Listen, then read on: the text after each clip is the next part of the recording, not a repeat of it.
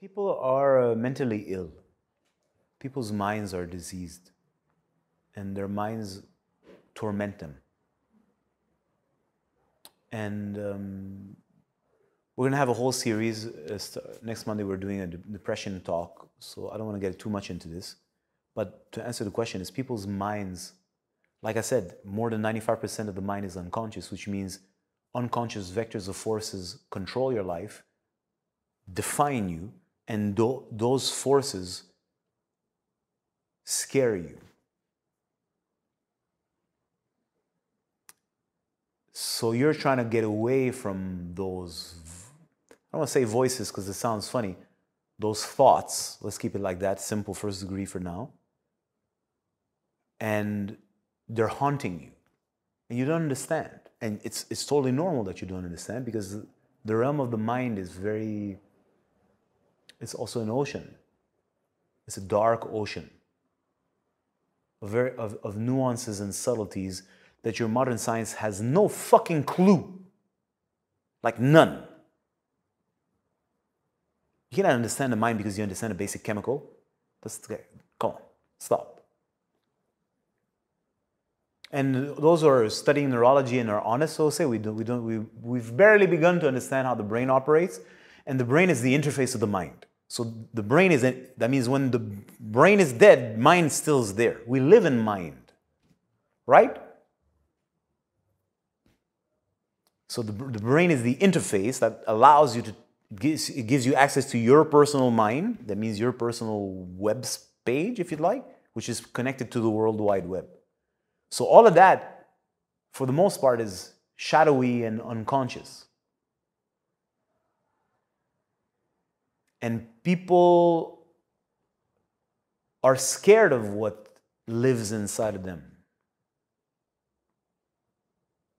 And they've also been through generations by society, culture, religions, conditioned to dislike themselves or think that what's that who they and what they are is bad and they shouldn't be this way so that on top of that creates that you're, you're scared of yourself and you're traumatized about whatever may live inside of you. It could be a little more, we can go in much deeper details, but you have a sense of that. So, and all that mental um, noise well, a, there's a war in your own in your mind. It's you. It's in you. It's in your inner world. There's a war, and every single oscillation or undulation of your mind creates an effect in your physiology. And now your average person doesn't know this, may believe in this, but believing in it doesn't change it. And then to have a level of, to have a mastery over the mind, well, that's a, that's a feat that very few people dare to approach or can even succeed at. I believe everybody can, you got to really want to. You got to see what's in it for you. But your average person just wants a quick fix. Listen, listen, man. I'm just gonna smoke some of that. I'm gonna watch some of that.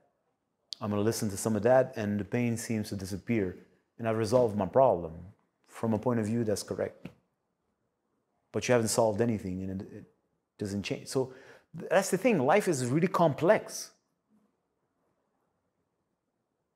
It's deep and it's big in infinite directions, infinitely vertical, infinite, infinite horizontal.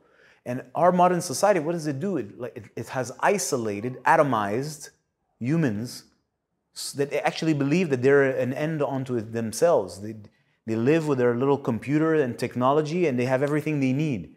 They don't even understand that they have a relationship with nature. Well, most people, it would be fair to say. And this is just basic, right? Forget understanding your relationship to the past, that means your own parents, your grandparents, your ancestors, understanding your connection to civilizations for thousands of years, all that is gone. So we have a modern person who's a masturbator who watches porn in front of their laptop, fuck their phone, in their little room with their little posters on the wall, and is so disconnected, has no sense of who they are and where they belong and to what they belong. So where, where's all that data? So there's clearly something that shields the, the, the individual from the grand perspective. And that shield, which can be called uh, hamkar or ego, or these are big words that mean a lot of things for different people, literally crystallize you, tense you, give you a, a, a sense of identity which is false. And it's, you're so small, you're so stuck in that smallness that all you can is but suffer. That's it. Obviously, there's no space. There's no space for you. We're not even talking about deep stuff. There's no space for your own thoughts. There's no space for your own desires. There's no space for your own, the energies that are in you. There's no space for anything that's even primal, meaning basic in nature. There's no, there's no space. So, uh, what does that mean? That means there's pressure, which means you're going to suffer. So uh, I think this is a humble attempt to, to answer your question. We can, of course, unpack this for hours, but yeah.